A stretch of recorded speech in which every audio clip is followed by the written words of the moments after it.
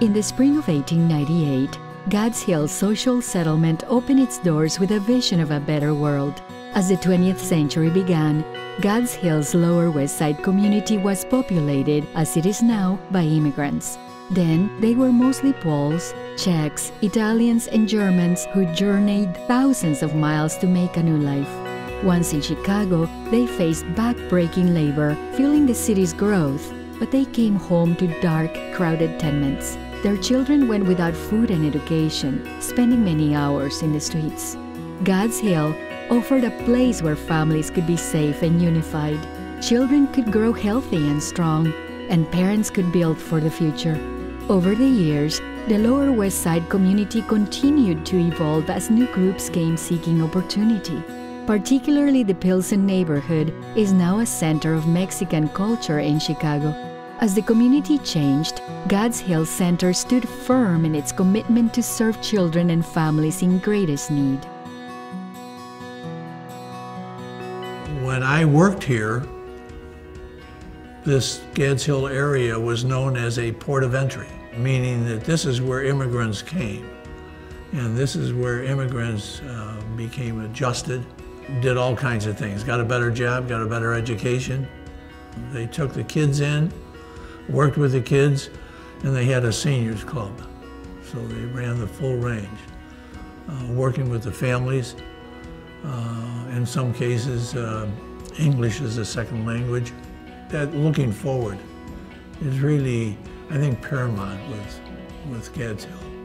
I first became familiar with Gads Hill Center when I was in grammar school. I attended St. Pius uh, Elementary School, which is about four blocks away from here, and every week uh, St. Pius would bring their children here for gym. From early on, from first grade uh, all the way through, I mean, I, I learned that Gads Hill was a safe place to go. I learned that once we were inside the fences of Gads Hill, we were safe. All the bad elements were sort of kept out. Later on, as the years went by, I realized that, I, yeah, I, I, felt safe there, but at the time, I wasn't thinking I'm going there because I think I'm, I'm going to be safe.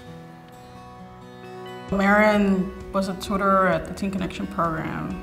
She helped me through my whole uh, college applications and all that. Having that female mentor just help you through not only school but personal issues as well. Coming to Gads Hill it opens your eyes to that. So that's why I came back to help volunteer because I know that there's children that need it, not only help with homework, but also so they know that there's children that were in the program before come back and then this is what, how, what they became, that you can do whatever you want. I'm proud of what those kids have done. It's not because I have pushed them or we have pushed them in one direction or another. It is that they did that on their own. I believe Gads Hill had an impact on, on who I am today. Clearly, I, they helped keep me basically, as you say, off the streets coming to Hill, that's when I knew that there's people out there who are willing to help you. That you're not alone in the world. You have others that could help you so you could help others as well. I am really proud to be part of the history of immigration at Gads Hill Center. I know that I stand on the shoulders of giants, people who built this organization for 120 years.